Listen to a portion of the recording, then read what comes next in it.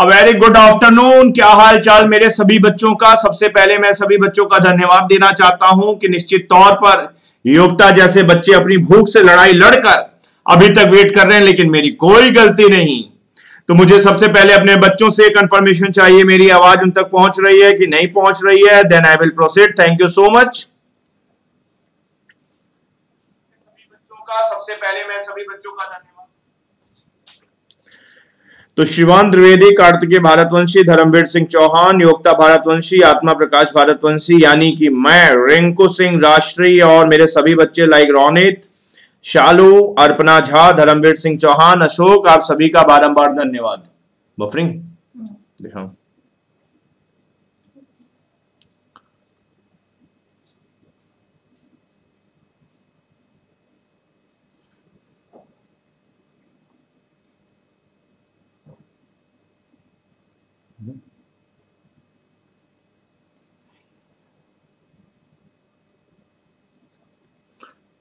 ठीक है मेरी आवाज़ आ रही सभी को?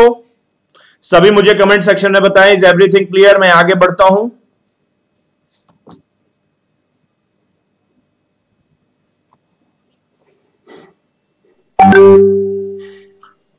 ठीक है मेरी आवाज़ आ रही सभी को?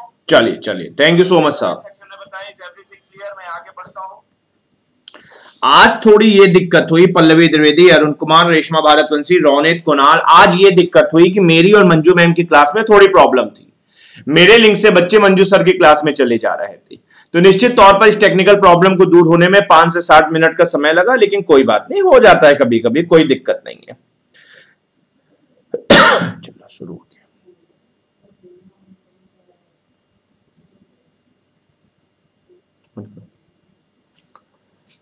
तो हम लोग directive principle of state policy की चर्चा कर रहे थे और directive principle of state policy के रूप में कल हम लोगों ने बेटा आर्टिकल 39 की चर्चा की, कल हम लोगों ने आर्टिकल 44 की चर्चा की और अंतोगतवा हम लोग इक्वल पे और इक्वल वर्क की चर्चा कर रहे थे।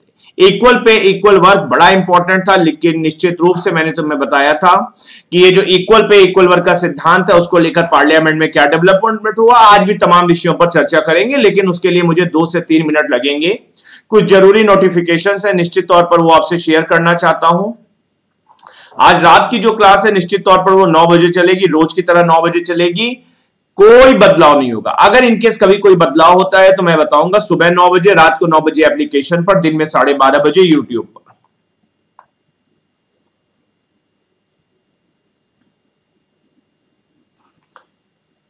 It is one of the most important notification क्योंकि निश्चित तौर पर ये जो सात मार्च का दिन है, दिन के 11 बजे, आप भारत की सबसे बड़ी एक्सरसाइज कॉम्बेट में पार्टिसिपेट करेंगे।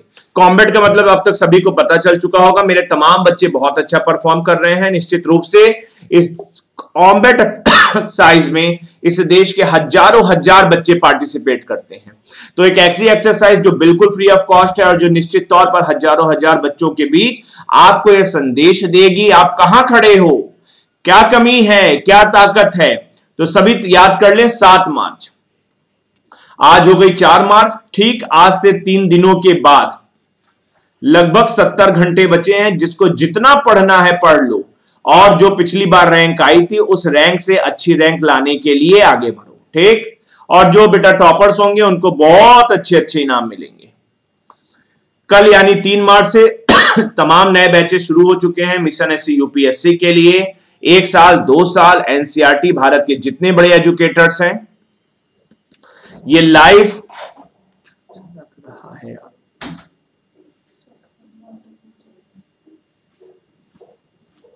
ये लाइव अपने बैचेस में प्लान के साथ तो निश्चित तौर पर जिन बच्चों ने अपना प्लान बनाया है, उनके लिए तीन मार्च की तिथि बड़ी इंपॉर्टेंट है और ये कॉम्बो ऑफ़र खुशी की बात यह है कि इट इज़ स्टिल कंटिन्यूइंग अभी भी चल रहा है। बहुत बहुत बड़ी राहत की खबर है उन बच्चों के लिए जो निश्चित तौर पर अभी तक वहाँ पोह में थे, क्योंकि बेटा केवल इस कॉम्बो ऑफ़र में आपका 29 percent forty two percent twenty six percent thirty seven percent ये जो फ़ीस स्ट्रक्चर है, आप देख रहे हैं दाएँ तरफ़। निश्चित तौर पर बेटा, इतनी बचत है। मेरा रेफरल कोड याद रखें इट इज़ एपी सर्टेन अगर मेरी टीम के साथ पढ़ना है तो ठीक है? अगर मेरे मार्गदर्शन पे भरोसा है तो। यदि अपनी ज़िम्मेदारी मुझे देना चाहते हैं तो नहीं तो ईश्वर आपको सद्बुद्धि दे, आपका फैसला सर्वमान्य होगा। लेकिन बेटा, जुड़ जाओ, यही सही समय है। यूपीएससी 2021 के प्रीलिम्स के पहले जुड़ जाओ। चलिए, अब मैं आगे बढ़ता हूँ। अपने टॉपिक पे मैं सबसे पहले उस स्लाइड पर आता हूँ, जिसे मैंने कल खत्म किया था इक्वल पे इक्वल वर्क के रूप में। Yes here is the exact slide equal pay equal work important इसलिए है समझना, क्योंकि मैंने कल आपसे कहा कि directive principle of state policy के रूप में हम यह जानते हैं कि ये directive principle of state policy न्यायालय के द्वारा प्रवर्तित नहीं हो सकते हैं। लेकिन कल मैंने आपको केवल एक एग्ज़ाम्पल दिया था इक्वल पे इक्वल वर्क का। और उस एग्ज़ाम्पल के रूप में मैंने आपको बताया था कि निश्चित तौर पर जब मैं directive principle of state policy की बात करूँगा तो यह कहना सही है that they are not enforceable ठीक है? बहुत अच्छी बात है। ये सभी को पता होनी चाहिए।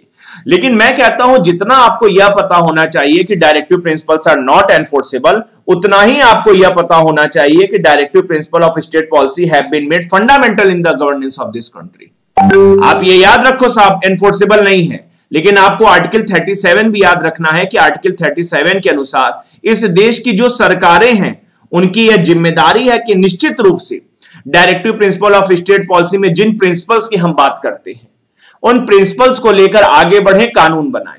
और कल मैंने एग्ज़ाम्पल के तौर पर आपको समझाने की कोशिश की थी कि इक्वल पे इक्वल वर्क जो आर्टिकल 39 डी में है, उससे प्रेरणा प्राप्त करके, उस ज़िम्मेदारी के निर्वहन के रूप में, पार्लियामेंट ने बेटा एक बड़ा अहम एक्ट पास किया इक्वल रेमुनरेशन एक्ट 1976 निश्चित रूप से जब लेबर लॉ के तमाम लॉज मैं आपको पढ़ाऊँगा प्रेम्बल के लिए, क्योंकि यू नेवर नो ये लेबर लॉज के जो कानून है, आपसे एग्जामिनेशन में कब पूछ लीजिए, मैंने आपको बताया।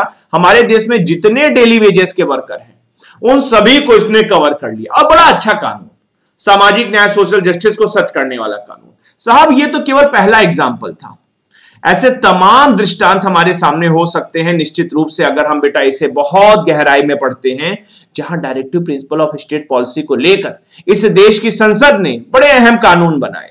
और निश्चित रूप से वही जानकारी directive principle of state policy के लिए महत्वपूर्ण है और हमारे एग्जामिनेशन के लिए महत्वपूर्ण है। तो कल जिस चर्चा को मैंने शुरू किया था कि हमने आर्टिकल 39 डी को कानून की संज्ञा दे दी। ऐसे तमाम विषयों को पढ़ने की कोशिश करते हैं कि कब कब क्या डेवलपमेंट हुआ directive principle of state policy को लेकर। तो क्या आप मेरे साथ तैयार हैं? Directive principle of state policy को इस रूप में पढ़ने के लिए अगर तैयार हैं तो मुझे कमेंट सेक्शन में बताएँ। मैं आगे बढ़ता हूँ इस शर्त के साथ। आप नोट्स बनाते रहेंगे, ठीक है?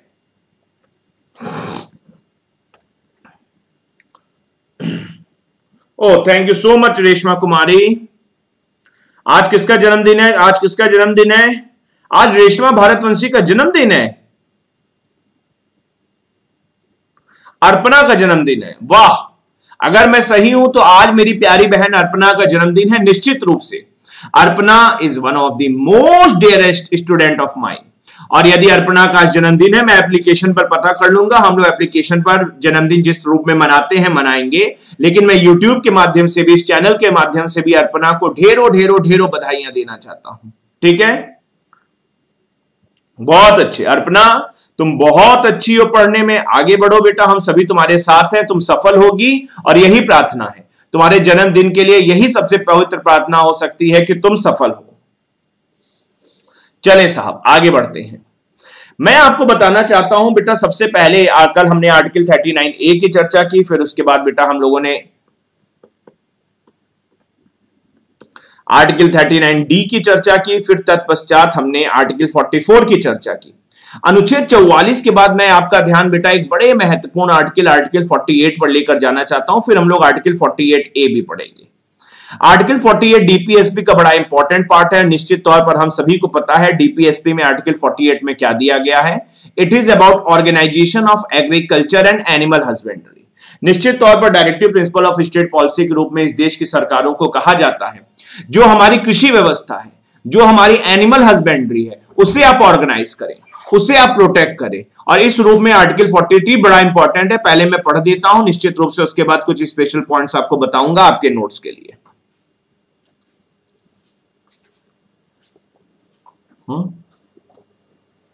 चल ही नहीं रहा।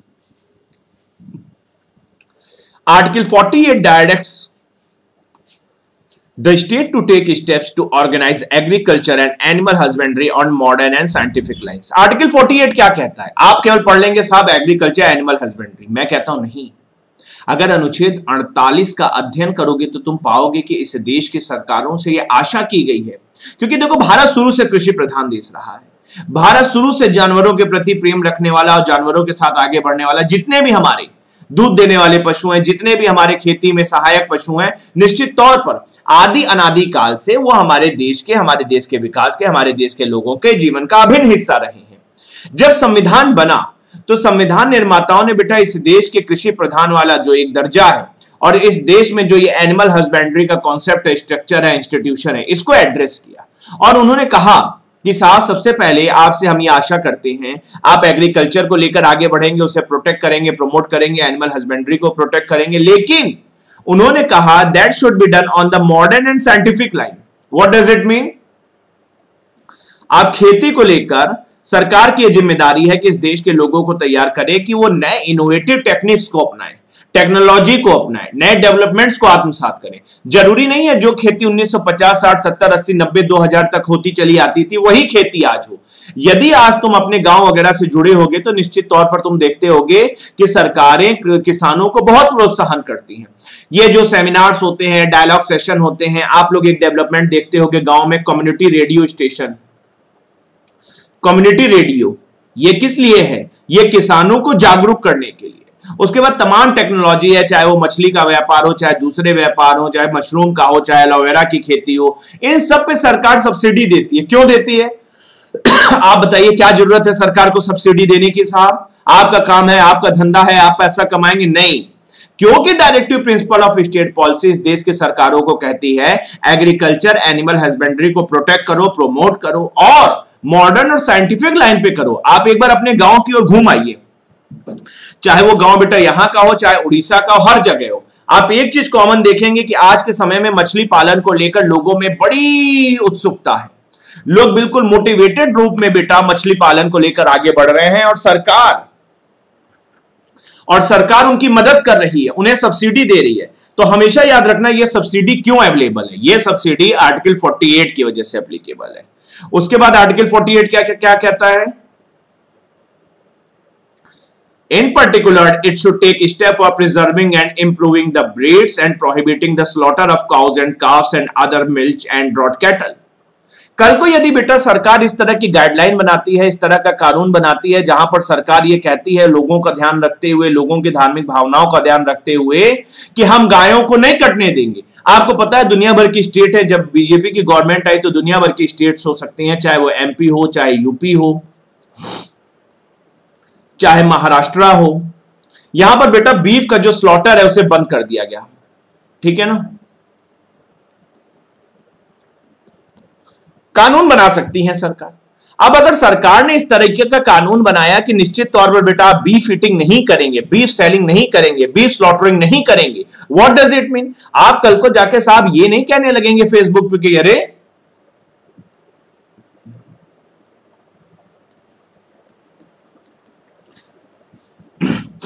राइट टू इट आर्टिकल 21 का पार्ट और हमें जो मन करेगा हम वो खाएँगे। अरे साहब कैसी बात करते हैं। अगर कोई एक ऐसा पशु है जिसके लिए निश्चित रूप से इस देश के करोड़ों करोड़ लोगों का धार्मिक सेंटीमेंट जुड़ा है, जो उन्हें माता कह के पुकारती है, जो उनकी पूजा करती है, कल को अगर सरकार इस तरीके का कानून बना दे तो मैं कहना चाहता हूँ कि याद रखना यह सरकार को दोष मत देना।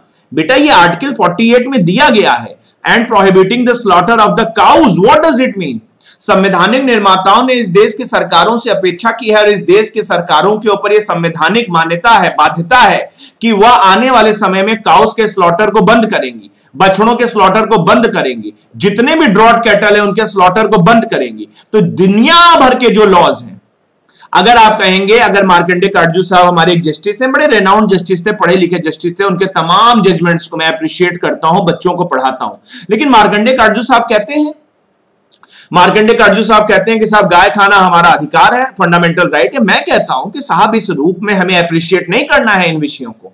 सरकार के पास ताकत है, सरकार के पास क्षमता है, और सरकार ने ऐसे तमाम अवसरों पर खुद को साबित किया है जहाँ directive principle of state policy के किसी विषय को उठाकर उसने लॉ बना दिया। अभी कुछ दिनों पहले मैंने तुम्हें स्टेट ऑफ़ बॉम्बे का केस लॉ पढ़ाया था, जहाँ 2016 के कानून को चुनौती दी गई थी।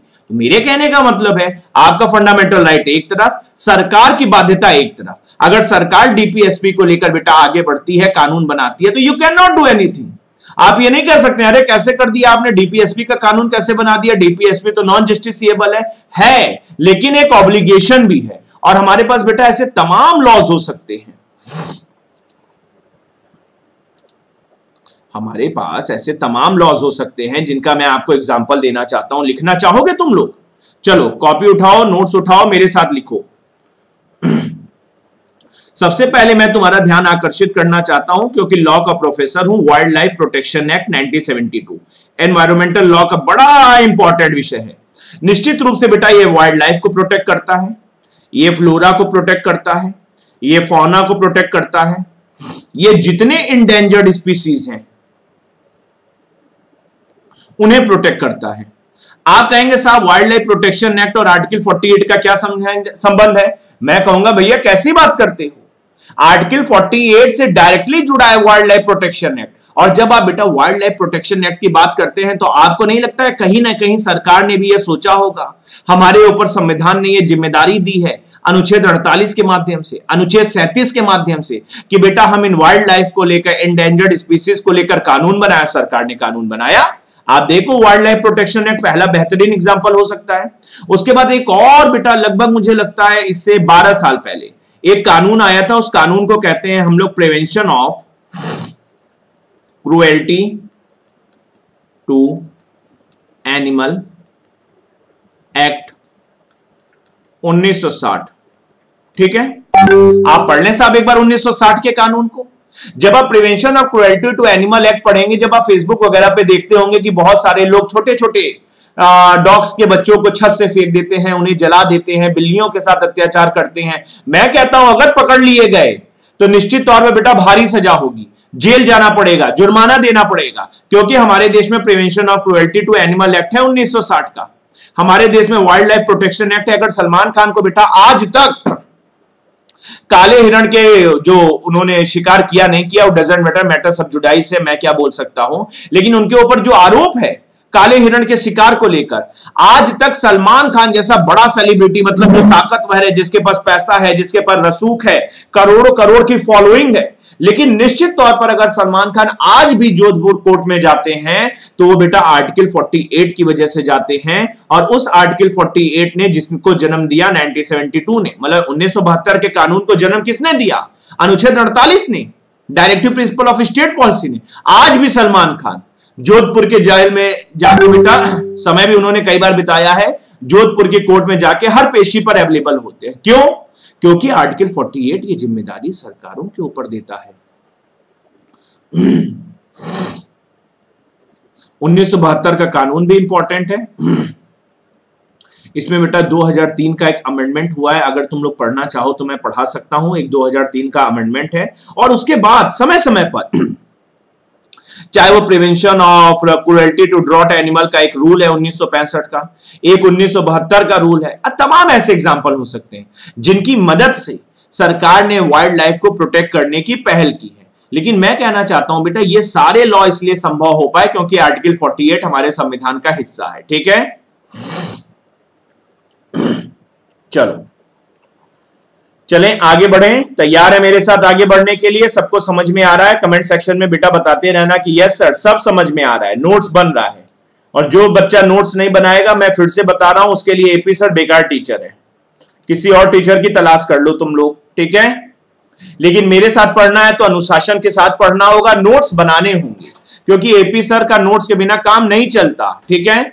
अब दूसरा एग्ज़ाम्पल क्या हो सकता है? आर्टिकल 48 ए में। एप्पल देख लो। आर्टिकल 48 एक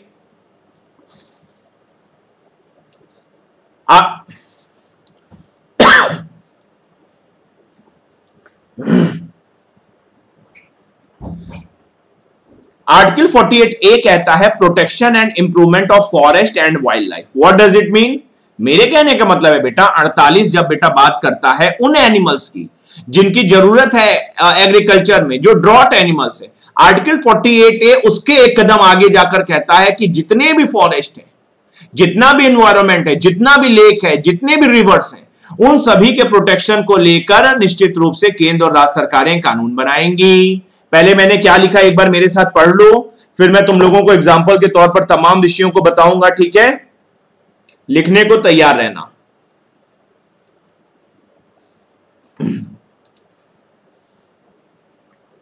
Article 48 requires the state to take steps to protect and improve the environment and to safeguard the forest and wild life in the country ठीक है साहब? अनुच्छेद अड़तालीस किस संवैधानिक संशोधन से आया? मेरे बच्चे बता देंगे, मैं नहीं बताने वाला। लेकिन मैं कहता हूँ, मेरी बात ध्यान से समझिएगा। मैं कहता हूँ कि जब अनुच्छेद अड़तालीस ए ने इस देश की सरकारों के ऊपर यह ज़िम्मेदारी तय की कि आप इस देश के फॉरेस्ट वाइल्ड लाइफ को लेकर आगे बढ़ेंगे तो बेटा वो ज़िम्मेदारी केवल इस देश की सरकारों ने नहीं निभाई। भाई, सरकारों ने तो निभाया। निश्चित तौर पर बेटा ऐसे तमाम कानूनों को मैं तुम्हें गिना सकता हूँ, जिसको लेकर सरकार आगे बढ़ी। लेकिन मैं तुम्हें बताना चाहता हूँ कि इस देश के सर्वोच्च और उच्च न्यायालय ने भी अनुच्छेद 48 ए का सहारा लिया और अनुच्छेद 48 ए की सहायता से इस देश की न्यायालयों ने बड़ा बेहतरीन काम किया। एग्ज़ाम्पल के तौर पर मैं तुम्हारे लिए केस लॉ लाया हूँ, उस केस लॉ को पढ़ लो, उसके बाद भी तमाम केस लॉ बताएँगे। अभी कुछ दिनों पहले मैंने तुम्हें एमसी मेहता साहब का दर्शन कराया MC Mehta second versus union of India इस केस में सुप्रीम कोर्ट ने क्या कहा? इस केस में सुप्रीम कोर्ट ने कहा the supreme court relying on article 48 give direction to the central and state government and various local bodies that is panchayat municipalities and board under the various statute to take appropriate step for the control of the pollution of water 1988 में MC Mehta द्वितीय का जो बेटा case law आया, निश्चित रूप से उसमें इस देश के सर्वोच्च न्यायालय ने इस देश के केंद्र राज्य पंचायत म्यूनसिपैलिटी बोर्ड बोर्ड मतलब पॉल्यूशन कंट्रोल बोर्ड जो होता है सेंटर में भी होता है स्टेट में भी होता है। इन लोगों से कहा कि यार तुम लोग क्या कर रहे हो? अब समय आ गया है कि इस देश में जो हमारा संसाधन है, जल, जिसके बिना जीवन संभव नहीं है उसको लेकर आगे बढ़ो, कानून बनाओ। और इस देश की सरकारों ने बेटा वाटर पॉल्यूशन एक्ट वाटर वो जो कानून है अपना water prevention of the control of pollution act और वाटर को लेकर जितने रूल है, मोदी जी ने तो अलग मंत्रालय बना दिया। लेकिन मेरे कहने का आपसे क्या मतलब है कि आपको ऐसे तमाम केस लॉ को पढ़ना होगा, समझना होगा, जहाँ पर सुप्रीम कोर्ट ने आर्टिकल 48 ए की मदद ली। आप तो साहब एक लाइन में कह देंगे कि अरे आर्टिकल 48 ए तो डीपीएसपी का पार्ट है, वो तो एनफोर्सेबल ही नहीं है। तो मेरे प्यारे बच्चों, सुप्रीम कोर्ट ने बेटा मज़ाक तो नहीं कर दिया। सुप्रीम कोर्ट ने कोई गलती तो नहीं कर दी संविधान को समझने में? जब भारत के सर्वोच्च न्यायालय, जिससे बड़ी कोई न्यायालय नहीं है, कार्तिकेय भारतवंशी, जब भारत के सर्वोच्च न्यायालय ने तमाम अवसरों पर अनुच्छेद 48 ए, जो कि directive principle of state policy है, उसका सहारा लेकर इसे देश के एनवायरमेंट को लेकर फॉरेस्ट को लेकर वाइल्ड लाइफ को लेकर, उससे जुड़ी अवेयरनेस को लेकर, कानून बनाने को बोला आगे बढ़ा जजमेंट दिया सरकारों को बाध्य किया लोगों को बाध्य किया गंदगी मत करो अपनी ज़िम्मेदारी का निर्वहन करो। मैं तुमसे बेटा एमसी मेहता नाम के कुछ केस लॉ शेयर करना चाहता हूँ।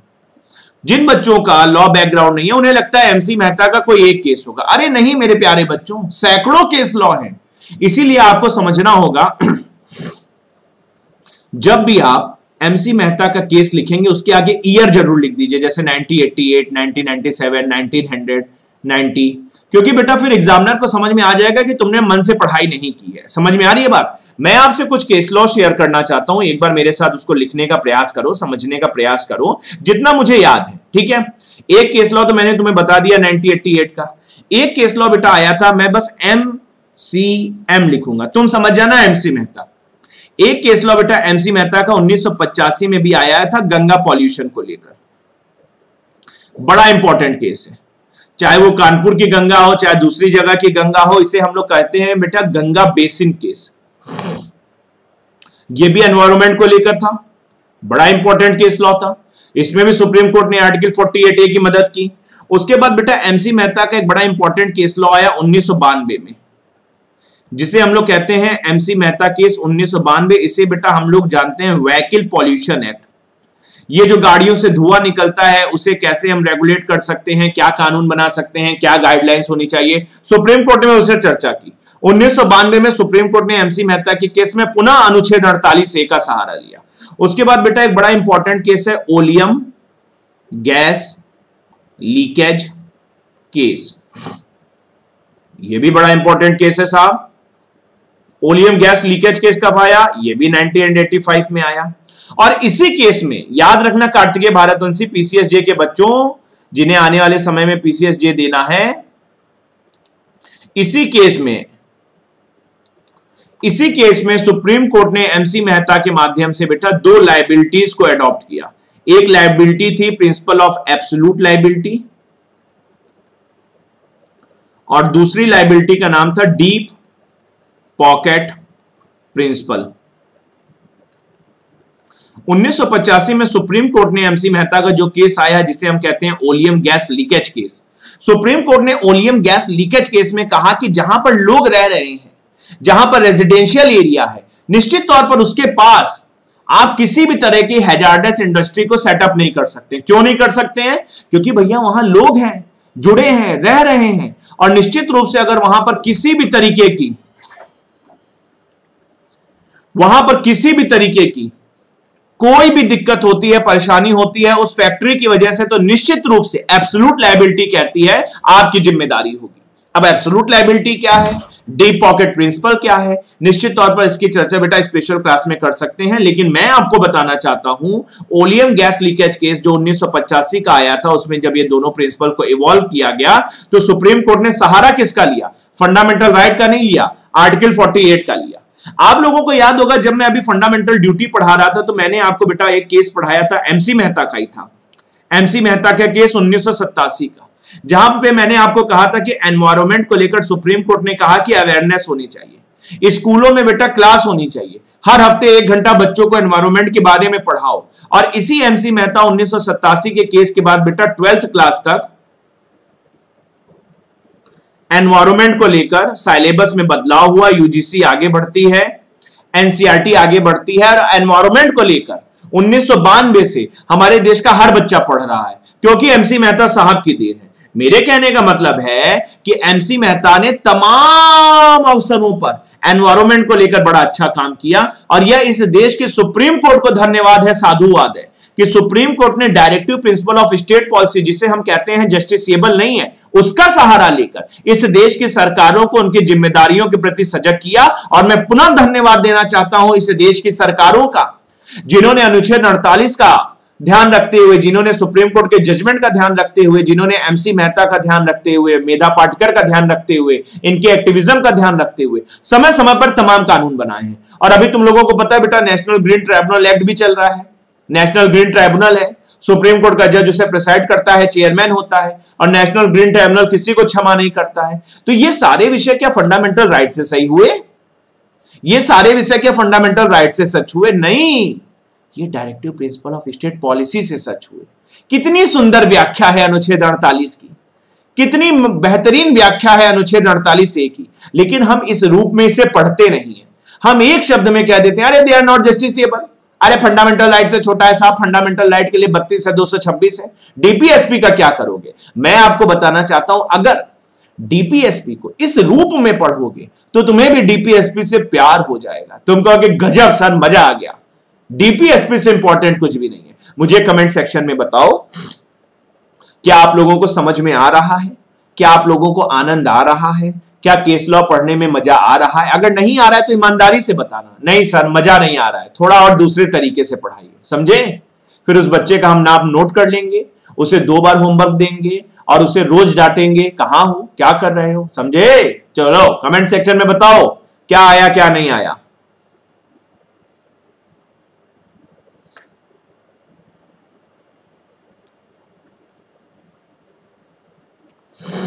Very good Anushka Rai.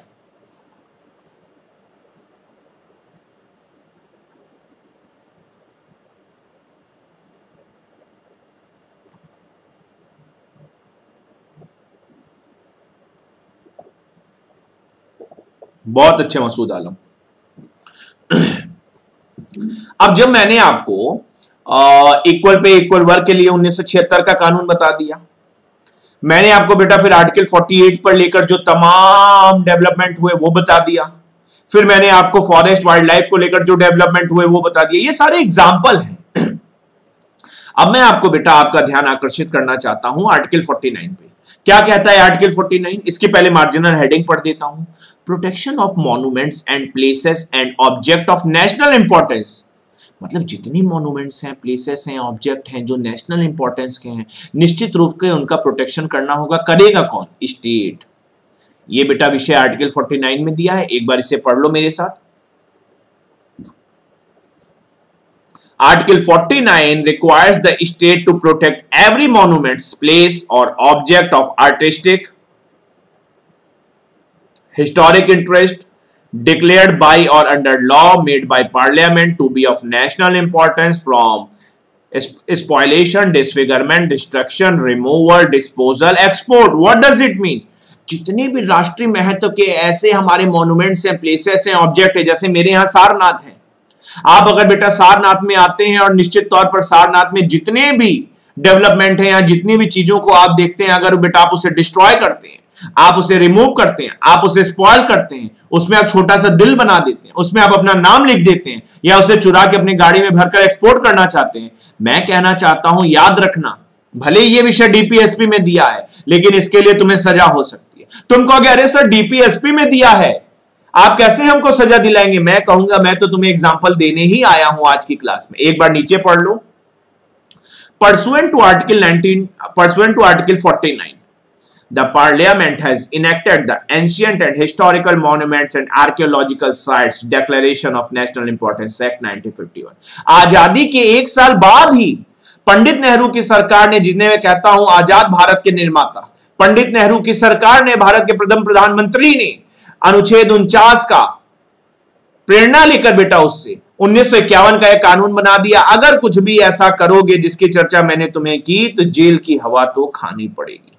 Fine तो देना पड़ेगा। और निश्चित रूप से बेटा, एक बार जेल चले जाओगे तो तुम्हें पता है फिर तुम्हारा क्या होने वाला है। तो अपने आसपास लोगों को बताओ, ये आर्टिकल 49 डीपीएसपी में नहीं है, उन्नीस सौ इक्यावन में ही इसको लेकर कानून बन चुका है। और एग्जामिनेशन में लिख कर आना, जहाँ भी मौका मिले, कि साहब डीपीएसपी केवल डीपीएसपी नहीं है, बहुत सारे डीपीएसपी ऐसे हैं जिनके लिए कानून बन गया है।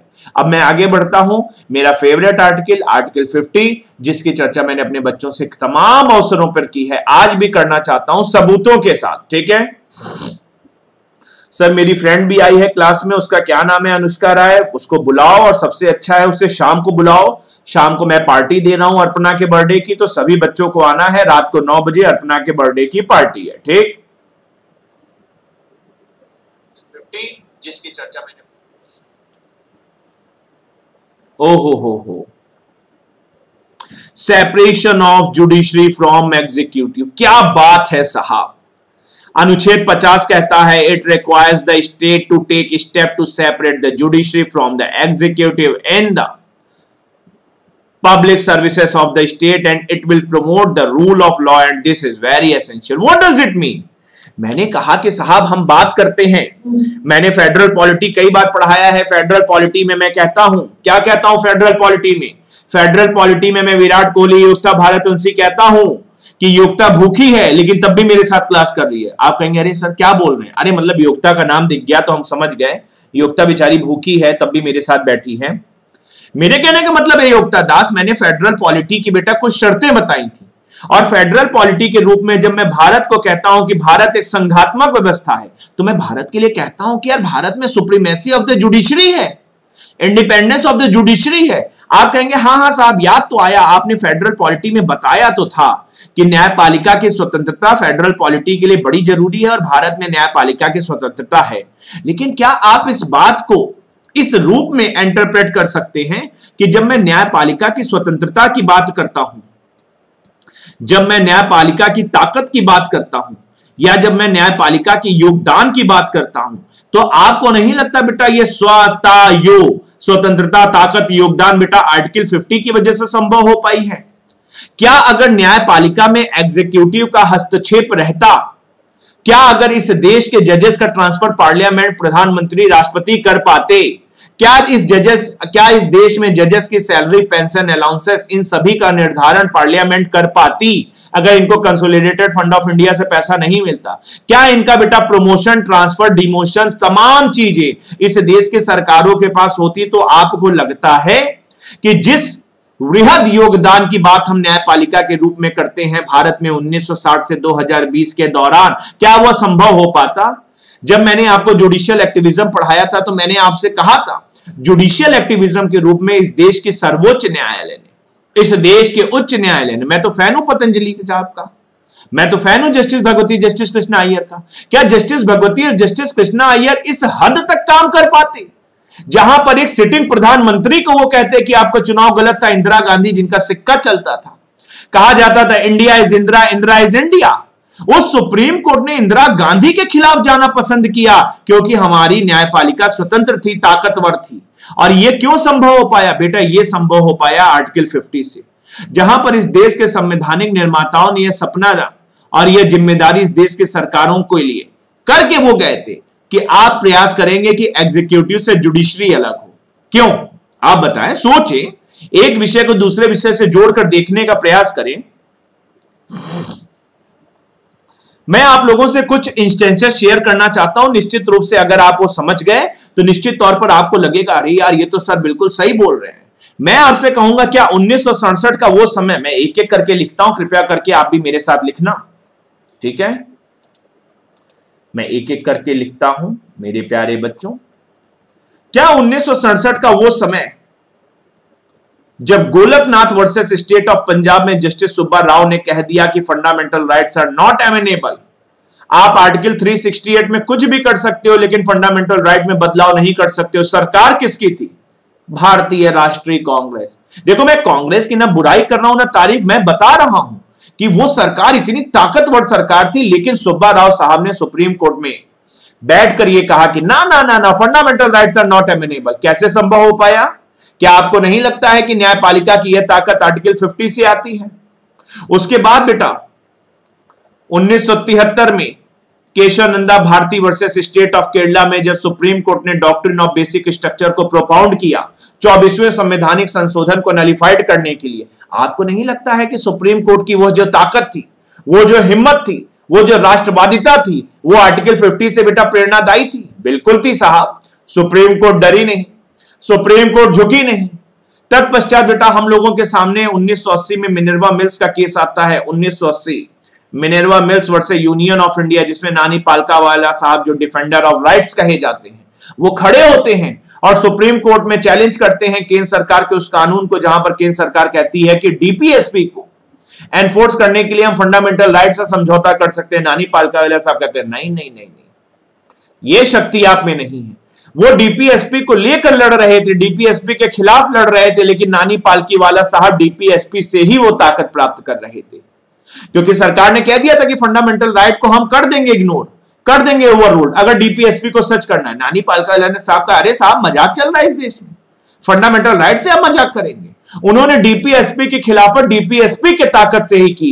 यह मुमकिन हो पाया article 50 Minerva mill versus union of India पे। मैं आपको बताना चाहता हूँ चौथे नंबर के रूप में, Francis Koroli.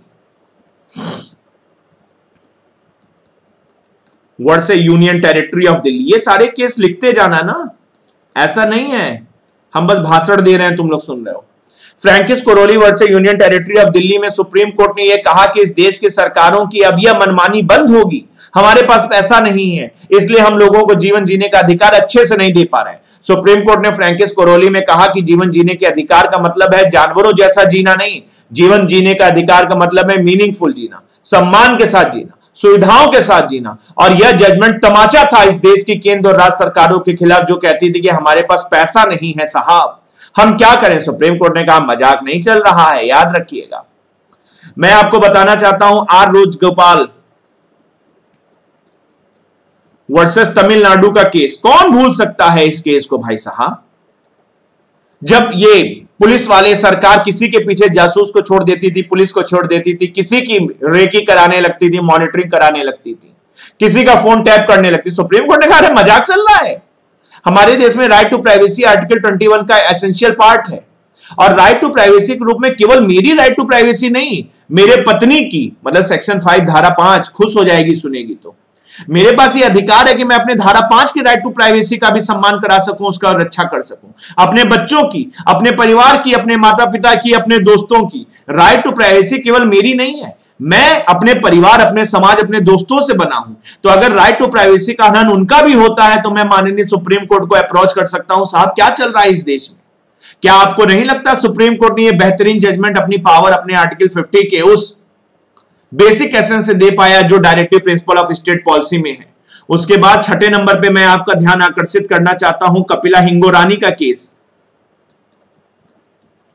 Kapila Hingorani versus union of India, जहाँ वापस इस देश की राज्य और केंद्र सरकारों के मुँह पर तमाचा मारते हुए इस देश के सुप्रीम कोर्ट अनुच्छेद 50 की मूल भावना को चरितार्थ करते हुए कहती है कि इस देश की सरकारों की यह ज़िम्मेदारी है कि इस देश के लोगों को लाइवलीहुड दें।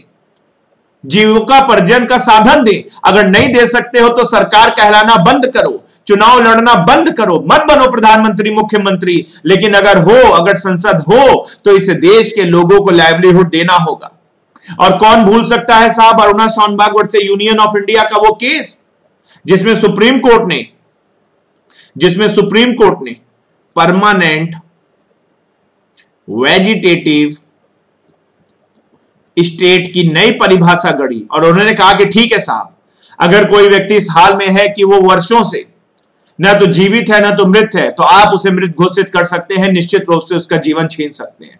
अरुणा सोनबाग वाला केस तुम लोगों को पता होगा यार, जो अपना बॉम्बे वाला वो हॉस्पिटल है, कौन सा हॉस्पिटल है वो? सी से नाम है उसका, कामा की कौन सा हॉस्पिटल है, जो रेप हुआ था उस नर्स के साथ वो सालों से 1997 से बेचारी। अधवरी स्थिति में थी। अरुणा सोनबाग के रूप में जिन्हें हम जानते हैं। आपको नहीं लगता साहब, उन्नीस से लेकर 2017 तक मैंने आपको ऐसे कुछ एग्ज़ाम्पल दिए? एग्ज़ाम्पल तो सैकड़ों हो सकते हैं।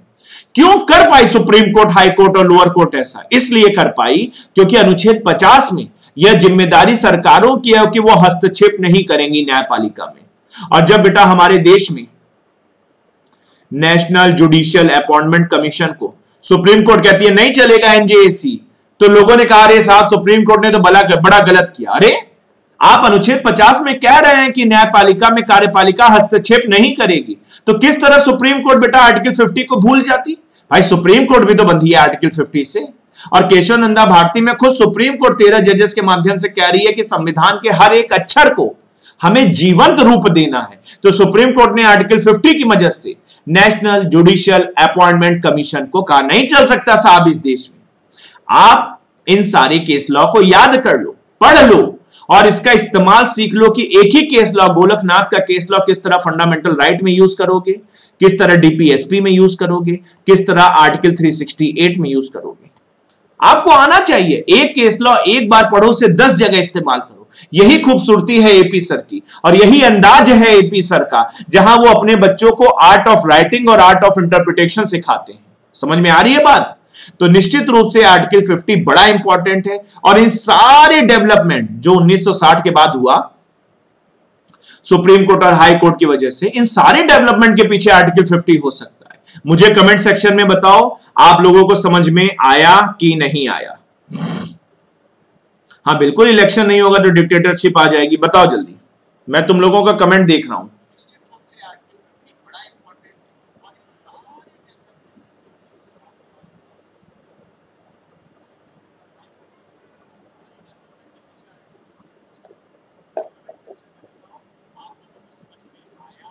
और तुम लोग लाइक वगैरह करना भूल गए हो क्या सब? क्यों? बेटा लाइक कर दो, नहीं तो ऐसा जादू चलाएँगे जितना पढ़े हो सब भूल जाओगे। मेरे पास मंत्र है ऐसा कि जब पढ़ा भी सकता हूँ, भुलवा भी सकता हूँ। जिसने लाइक नहीं किया, यहीं से ताम तुम ताम भुड़ुम करूँगा, तुम लोग भूल जाओगे। समझे? हाँ बहुत ताकतवर इंसान है। चलो, जल्दी जल्दी लाइक करो जिसने लाइक नहीं किया। हाँ हाँ पक्का बता देंगे धर्मवीर।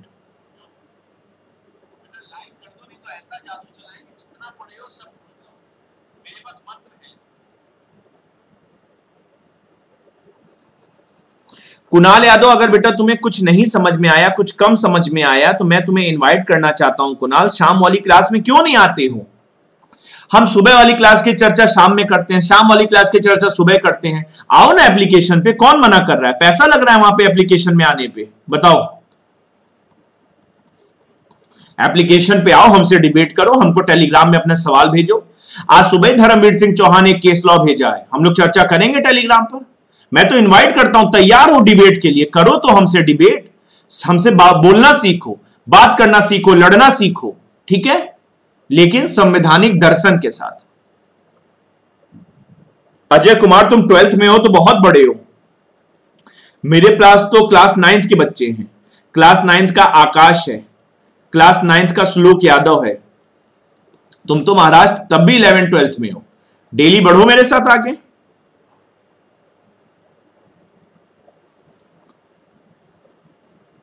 सर आप जब भी पॉलिटी पढ़ाते हैं, लगता है आज तो लास्ट दिन है पॉलिटी का। मतलब हम इतना खराब पढ़ाते हैं कि रूबी को लगता है आज आखिरी दिन है, आज के बाद पॉलिटी नहीं पढ़ेंगे। ठीक है रूबी तुमने मुझे दुखी कर दिया। Sir permanent vegetative state clear नहीं है। अरुण कुमार, तुम तो आते हो ना एप्लीकेशन में, वहाँ बता देंगे परमानेंट वेजिटेटिव स्टेट क्या कुछ नहीं है बेटा। मतलब एक ऐसी अवस्था बेटा, ना जहाँ पर ना तुम जी रहे हो, ना मर रहे हो। एक मरणासन स्थिति। मरणासन स्थिति क्या होती है? जहाँ मृत नहीं है, बस एक ऐसी स्थिति है। ठीक है?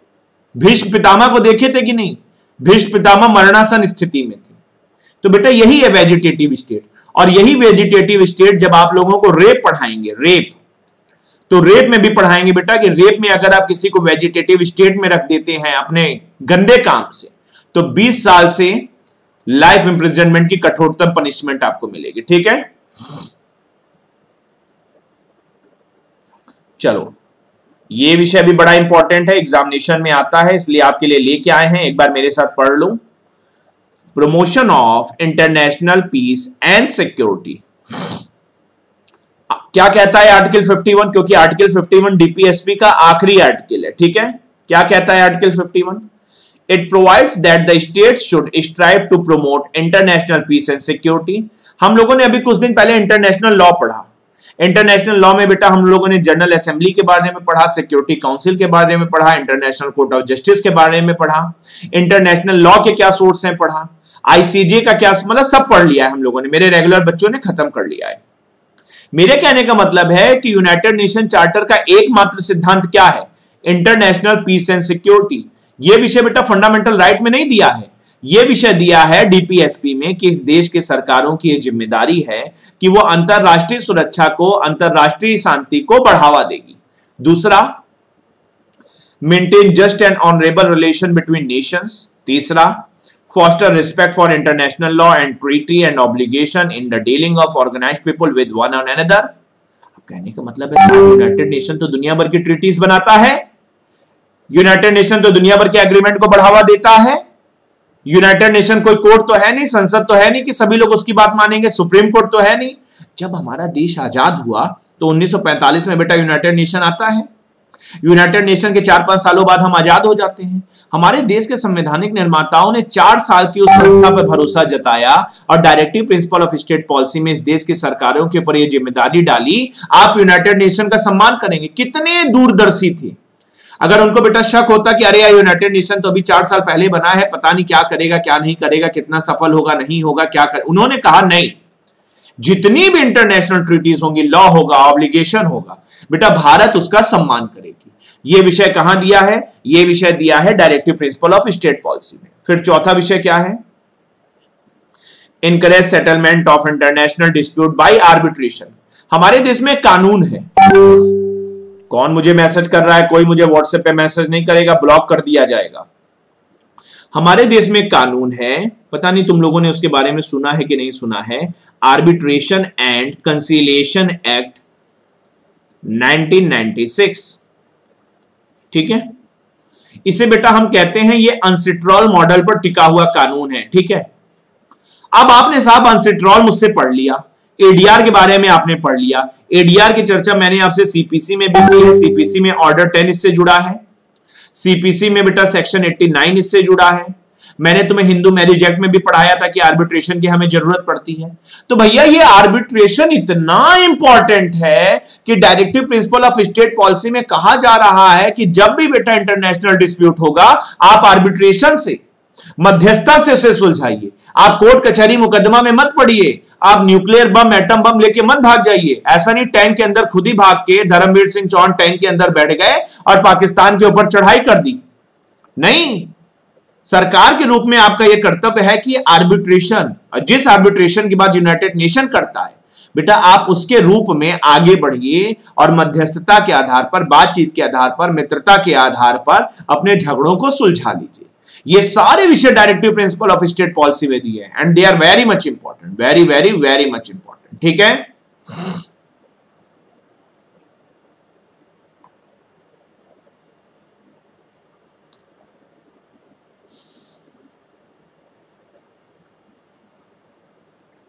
आर्टिकल 51 के रूप में मैं आपको समझाना चाहता हूँ कि हमारे देश में बेटा एक बहुत इंपॉर्टेंट संस्थान है।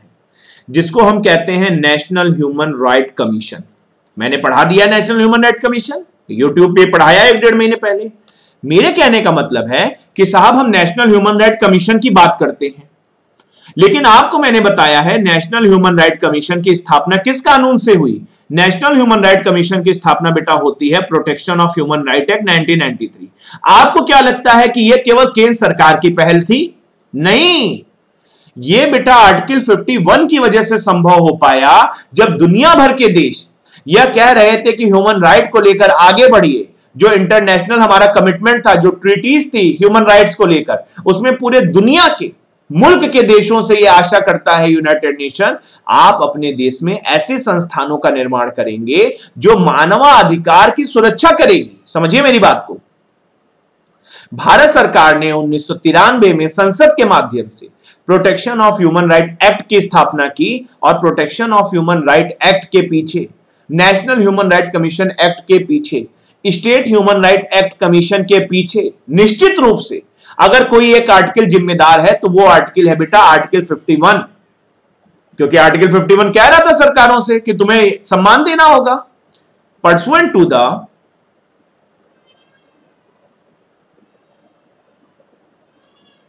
Pursuant to the direction enshrined in Article 51 of the Constitution and international commitment, Parliament has passed the Protection of Human Rights Act 1993. The Act provides for setting off a National Human Rights Commission, human rights courts to meet the growing concern for human rights in the country and abroad. Similar commission may be set up in the state also. आज जब इस देश में अपनी स्थापना से लेकर आज तक लाखों लाख केसेस जो ह्यूमन राइट वायलेशन के थे। अगर बेटा स्टेट और नेशनल ह्यूमन राइट कमीशन उसे रिजोल्व कर पाया, न्याय दिलवा पाया, दोषी पुलिस वाले, दोषी जेल वाले, दोषी राजनेता, दोषी वो लोग जो निश्चित तौर पर बेटा ह्यूमन राइट को वायलेट करते हुए पाए गए, अगर वो सजा पा पाए निश्चित रूप से एनएचआरसी की वजह से तो उसके लिए क्या जिम्मेदार है तुम बताओ ना? उसके लिए केवल और केवल एक अनुच्छेद जिम्मेदार है आर्टिकल 51 और तुम लोगों को पता है, जहाँ कहीं भी इनकाउंटर होता है हमारे उत्तर प्रदेश में जहाँ कहीं भी गाड़ी पलटती है तो निश्चित रूप से बेटा नेशनल ह्यूमन राइट कमीशन उसका संज्ञान लेता है। क्यों लेता है? ह्यूमन राइट को प्रिजर्व करना है प्रोटेक्ट करना है। क्या ऐसी ज़रूरत आन पड़ी थी, मजबूरी आन पड़ी थी? अरे साहब आर्टिकल 51 खड़ा है। It is watching the government of India क्या कर रहे हो तुम लोग? तो नेशनल ह्यूमन राइट कमीशन के ऊपर। आप जब कभी भी भविष्य में आंसर लिखेंगे, आप आर्टिकल 51 की चर्चा ज़रूर करेंगे। इंटरनेशनल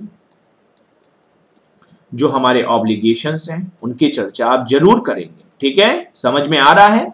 कैसे डीपीएसपी को लेकर बेटा सरकारें कानून बनाती हैं? किस तरह डीपीएसपी नॉन जस्टिसेबल हो के भी इस देश की आत्मा में बसा हुआ है? समझ रहे हो? कमेंट सेक्शन में बताओ, फिर आगे चलते हैं। ठीक है? धर्मवीर सिंह चौहान, बड़ी बातें करते हो यार तुम। मत किया करो धर्मवीर सिंह चौहान। कभी कोई बच्चा कंप्लेन कर देगा ब्लॉक हो जाओगे, क्या फ़ायदा? तुम बताओ धर्मवीर। पढ़ाई पर ध्यान दो, तुम्हें क्या मतलब है? कौन क्या बोल रहा है, नहीं बोल रहा है? इतने अच्छे हो तुम पढ़ने में, इतने लंबे समय से मेरे साथ हो। आगे बढ़ो महाराज। चौहान, बड़ी बातें करते हुए मत किया कभी बच्चा कंप्लेन कर देगा ब्लॉक हो जाओगे, क्या फ़ायदा तुम बताओ पढ़ाई पर ध्यान दो क्या मतलब कौन क्या बोल रहा है पानी।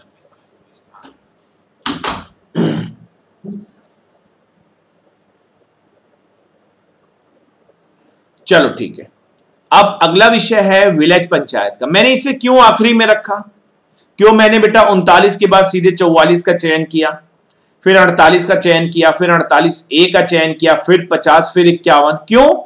आर्टिकल फोर्टी लास्ट में रखा। अरे महाराज, अभी तो तुम लोगों को पंचायत के बारे में इतना अच्छा पढ़ाए हैं। तुम लोगों ने अपने नोट्स को अप टू डेट किया है पंचायत पे। क्यों? है ना? तो चलो, एक बार विलेज पंचायत को पढ़ लेते हैं आर्टिकल 40 को पढ़ लेते हैं, जो हमारे यहाँ डेवलपमेंट हुए, उसे पढ़ लेते हैं। निश्चित तौर पर पंचायत और म्यूनिसिपैलिटी को लेकर ये सारे विषय तुम्हारी मदद करेंगे।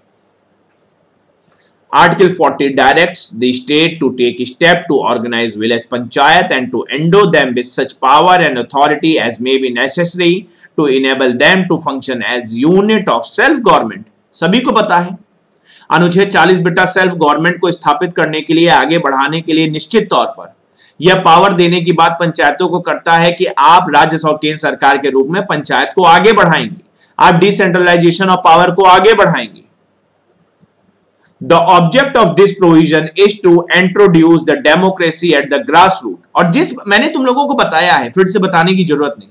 भाई, हम लोग प्रजातंत्र प्रजातंत्र की बात करते हैं, जब तक गाँव में बसे हुए भारत के पास प्रजातंत्र रूपी ताकत नहीं होगी। किस बात का प्रजातंत्र? अगर किताबों में लिखने से ही प्रजातंत्र आ जाता है तो बेटा ज़रूरत क्या थी सरकारों की? बस किताबों में लिख देते। These panchayat are expected to be the training ground for the development of democratic tradition और जो बेटा हमारे यहाँ प्रधान जी लोग घूमते हैं स्कॉर्पियो में, निश्चित रूप से उनकी उपयोगिता है कि ये जो प्रधान है और प्रधान के चुनाव के रूप में जब बेटा हम लोग पार्टिसिपेट करते हैं गाँव में तो बेटा ये डेमोक्रेटिक संस्कारों का सृजन है। जहाँ हम इस देश के गाँव के लोगों को बेटा संस्कारित कर रहे हैं, सृजित कर रहे हैं कि आपको पार्टिसिपेट करना है।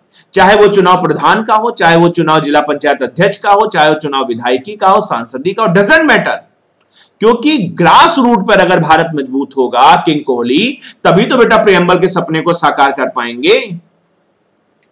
Village panchayat has been introduced throughout the country many states have enacted laws for the organisation of the functioning of panchayat 1956-57 से राजस्थान से लेकर आज तक, तमाम भारत के राज्यों ने बेटा पंचायत को व्यवस्था को अडॉप्ट किया इंप्लीमेंट किया एंडोर्स किया। मैंने तुम लोगों को अभी कुछ दिनों पहले पेशा के बारे में पढ़ाया। पेशा भी पंचायत से जुड़ा है है ना? हम्म बफरिंग हो रही है। चलो, एक मिनट वेट थोड़ी देर वेट करो, देखते हैं। वेट करो वेट करो। ha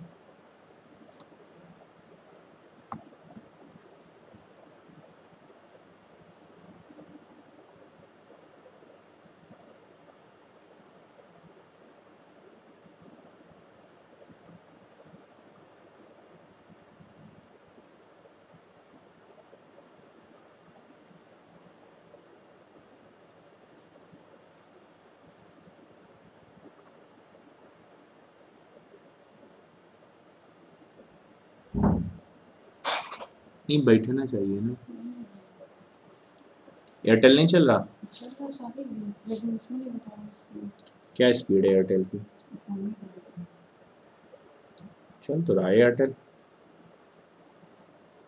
ठीक है, आ गया I am back I am back ठीक, सभी को क्लियर है? Thank you so much everyone थोड़ी बहुत प्रॉब्लम हो जाती है, थोड़ी बहुत प्रॉब्लम हो सकती है। अगर इंटरनेट में प्रॉब्लम होगी तो बताना, दूसरे इंटरनेट को स्विच ओवर कर लेंगे। हम्म? हम्म। ठीक भाई, हम लोगों के पास जब जय महाकाल है तो इंटरनेट की कोई हैसियत नहीं है, समझे? कि जय महाकाल से भिड़ सके। क्यों जसवंत? चलो, जसवंत आगे बढ़े। So in order to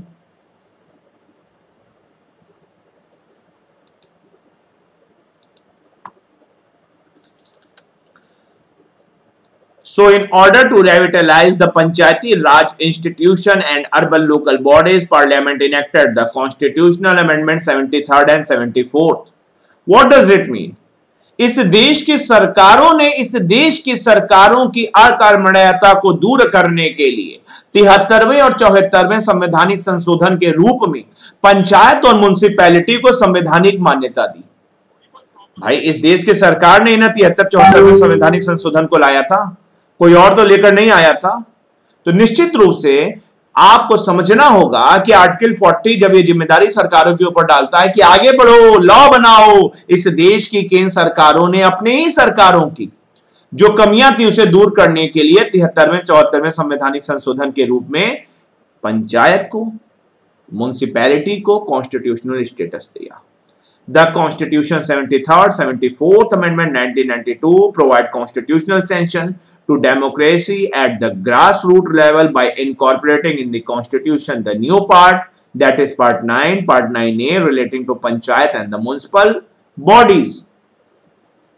आपने कहा साहब तिहत्तरवा और चौहत्तरवा संवैधानिक संशोधन आया आपने कहा साहब भाग नौ और भाग नौ आया ठीक तो है क्या प्रॉब्लम है लेकिन साहब आपने ये नहीं कहा कि ये क्यों आया ये साहब आर्टिकल 40 से आया साहब, ये क्यों आया? साहब, ये आर्टिकल 40 से आया। क्यों आज पंचायत के जो हमारे प्रतिनिधि हैं, जो हमारे प्रधान जी हैं, वो क्यों बड़ी बड़ी गाड़ियों से घूम रहे हैं? मेरे कहने का मतलब है व्यवस्था गलत है। वो इसलिए घूम रहे हैं कि बेटा फंड की अब कमी नहीं है। अब वो उसको मिस अप्रोप्रिएट कर रहे हैं। वो अलग विषय है, वो भ्रष्टाचार का विषय है, वो दूसरा विषय है।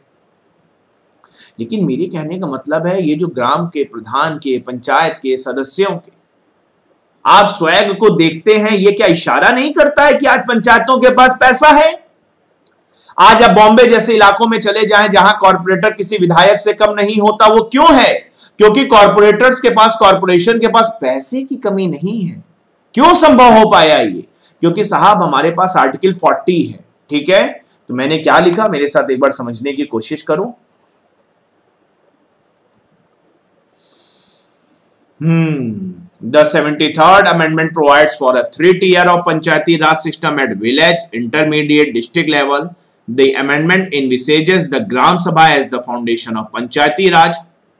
मैं मार्क कर देता हूं ना जो शब्द इंपॉर्टेंट है Gram Sabha is a body consisting of all person of village registered as voter. The 74th Amendment Act provide constitutional sanction to urban local self-government. It provides for three types of municipal corporation that is Nagar Panchayat, Municipal Corporation, Municipal Corporation according to population. The Panchayati Raj Nagar Palika Constitutional Amendment provides constitutional guarantee to the basic and essential feature of these governing institution. भैया हमारे यहाँ three tier व्यवस्था है हमारे यहाँ ग्राम सभा है हमारे यहाँ three tier urban local bodies है, हमारे पास कॉन्स्टिट्यूशनल गारंटीज है। किस चीज़ की? इन्हें हर वो फीचर मिल सके, सुविधा मिल सके, जिससे रूप में हम इस देश के गाँव में प्रजातंत्र को स्थापित कर सके। क्या यही सपना गांधी का था? यही सपना था। क्या यही सपना आर्टिकल 40 का था? यही सपना था। तो इन सारे डेवलपमेंट के पीछे एक ही अनुच्छेद जिम्मेदार है, उस अनुच्छेद का नाम है अनुच्छेद 40 These amendments ensured their regular election and also provide for reservation of seat to scheduled caste, scheduled tribe and women in the Panchayati Raj bodies. हमारे देश की संसद भले आज तक महिलाओं को 33 परसेंट आरक्षण नहीं दे पाई लेकिन पंचायतों ने दे दिया म्यूनिसिपैलिटीज ने दे दिया आपको नहीं लगता है साहब जब मैं प्रेम्बल में जेंडर जस्टिस की बात करता हूँ तो आपको नहीं लगता है इस जेंडर जस्टिस में जब भी आपको बेटा ऐसे में लिखने की ज़रूरत होगी, आप आर्टिकल 40 के योगदान को भी उल्लेखित कर सकते हैं। भैया, ये आर्टिकल 40 की वजह से ना संभव हो पाया कि आज हमारे देश की 33 परसेंट माताएँ, बहनें चुनाव लड़ रही हैं और उनके पति, प्रधान पति के रूप में जाने जाते हैं। ये क्रांति, ये बदलाव, ये परिवर्तन अनुच्छेद 40 की वजह से संभव हुआ। Under these amendments the panchayati raj institution shall have both financial and administrative power ये सारे विषय केवल एक आर्टिकल से संभव हुए। उस आर्टिकल का नाम था आर्टिकल 40 ठीक? आप सभी को समझ में आया आर्टिकल 40 की इंपॉर्टेंस आर्टिकल 40 ने क्या परिवर्तन किया? परिवर्तन। ठीक? चलें साहब। अगर समझ में आया तो मुझे कमेंट सेक्शन में बताना। अब चलते हैं अंत की तरफ़। अंत मतलब अभी भी दो तीन घंटे लग जाएँगे। Relationship between directive principle and fundamental rights क्या रिलेशन है? समझना पड़ेगा ना। कौन बड़ा, कौन छोटा, कौन इंपॉर्टेंट कौन नॉन इंपॉर्टेंट ठीक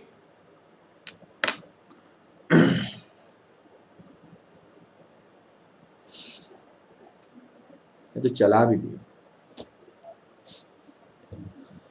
चलिए साहब directive principle of state policy और फंडामेंटल राइट की चर्चा के दौरान मैं आपका ध्यान आकर्षित करना चाहता हूँ एक विषय की वो विषय क्या है? बेटा देखो, कहा क्या गया कि साहब फंडामेंटल राइट ही इंपॉर्टेंट है। क्योंकि फंडामेंटल राइट बेटा इस देश के लोगों के अधिकारों की गारंटी देता है। फंडामेंटल राइट ही इंपॉर्टेंट है। क्योंकि फंडामेंटल राइट ही जस्टिसिएबल है। लेकिन मैं कहना चाहता हूँ, क्या केवल फंडामेंटल राइट से इस देश के कल्याणकारी राज्य का सपना सच हो सकता है? मैंने पहले भी बताया, नहीं नहीं नहीं। आप कहेंगे, तब क्या होगा?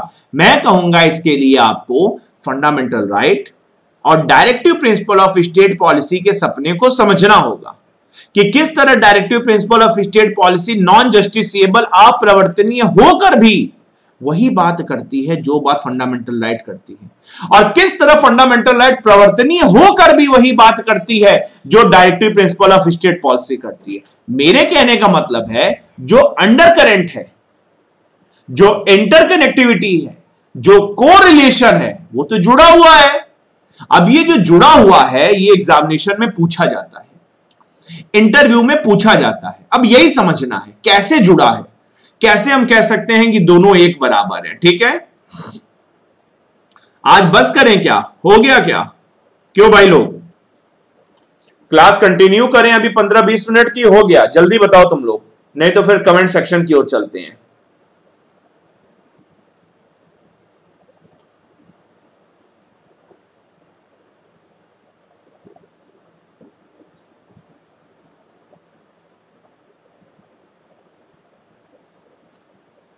जैसा बच्चे बताएँ वैसा करें। क्यों भाई? दिनेश कह रहा है, बस करिए। क्यों? जल्दी बताओ, देखो, इतना समय नहीं है मेरे पास। समझे? हाँ सर, हो गया। इसमें कुछ एक्सेप्शंस भी हैं क्या? जस्टिसबल भी तो होता है कभी कभी तो जसवंत वही तो बता रहे थे बेटा। थक गए जी। Continue sir ji sir yes sir घर जाना है। घर जाना है? हम कौन सा तुमको कोचिंग में बिठाए हैं? कंटिन्यू सर हो गया। सुबह भी आज की क्लास दो रिकॉर्डिंग देखी थी। सर, मैंने जो सुप्रीम कोर्ट का कानून भेजा है। चलो ठीक है, चलो ठीक है, चलो ठीक है, चलो ठीक है। कल पढ़ाएँगे कल पढ़ाएँगे, लेकिन नहीं, कल ठीक है ऋतु रोनित, कल पढ़ा देते हैं। अरे, ऐसा क्या यार, कहाँ भागना है? कल नब्बे मिनट पढ़ा देंगे, ठीक है? तो बच्चों की बात का सम्मान करते हुए, देखो धर्मवीर प्राण मत पिया करो। समझे? कुछ बच्चे एकदम प्राण को पीने पे तुल जाते हैं। अरे महाराज, आपका जजमेंट हम पढ़ लिए मतलब आपका कमेंट आपको जवाब भी दे दिए। अब महाराज, अगर 40 बार कमेंट नहीं करेंगे, क्या हम पढ़ेंगे नहीं? क्यों?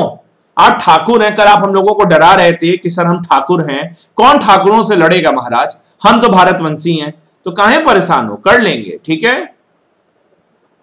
तो अब हम लोग रात को मिलेंगे बेटा नौ बजे अपने ऑफिशियल समय पर, इतिहास को लेकर, पॉलिटी को लेकर।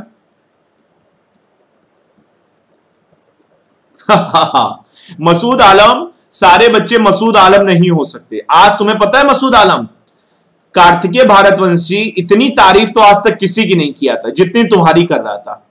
कहा, सर, हमको पहली बार अपने जैसा कोई एक बच्चा मिला जो क्लास के बारे में सोच रहा है। जो क्लास में बेटा इस तरह की एक्टिविटी को आगे बढ़ा रहा है, जल्दी जल्दी कह रहा है, जल्दी बताओ जल्दी बताओ। खुद इतनी मेहनत करता है, हम लोगों के लिए इंस्पिरेशन का काम करता है। Very good Masood I am very much happy हम झारखंड आ जाएँगे तुमसे मिलने, ठीक है? हाँ पक्का। और वहीं से पढ़ाएँगे दो चार दिन। बस तुम्हारे सम्मान में, हम कार्तिके आ रहे हैं मसूद तैयारी कर लो। अब बेटा टिकट करा देना ना। हम लोग बिना टिकट के नहीं आते हैं। ठीक? तो चलो फिर रात को मिलेंगे हम लोग नौ बजे। अगर किसी के मन में कोई सवाल हो तो मुझसे पूछ लो। मृदालिनी सिंह रेगुलर रह। लो अरुण, आप कहाँ पर रहते हो? बेटा, अरुण इस समय क्या कहते हैं? मार्स गया है। मार्स से वो क्लास ले रहा है। तुमसे क्या मतलब है? कहाँ रहता है? विराट कोहली? सर, मैंने नहीं सुना था। अरे, गजब हाल है। इतने अच्छे से आपका जवाब दिया। धर्मवीर ने मुझे इतना अच्छा क्वेश्चन भेजा। धर्मवीर से हम डिबेट करेंगे। मैं कहता हूँ, आओ डिबेट करो। झूठ बोलते हो? झूठ बोलते हो, जी। सर, मुझे टाइपिंग करने का समय नहीं देते। हाँ हाँ ये बात तो है। कार्तिकेय कह रहा था कि मसूद भाई समय थोड़ा कम देते हैं। लेकिन अब क्या करें भैया, वो तो एग्जामिनर ही तय कर सकता है।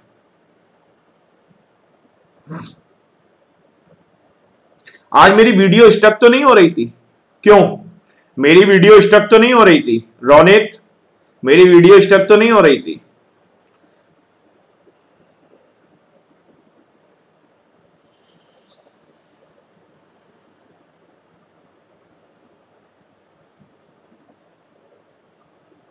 सर, मैंने नहीं सुना था धर्मवीर सिंह चौहान को यह बात बताने में दस कमेंट करना होगा।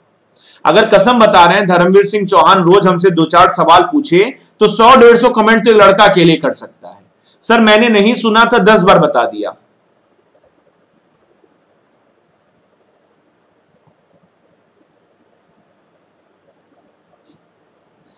चलो ठीक है, चलो ठीक है ठीक है?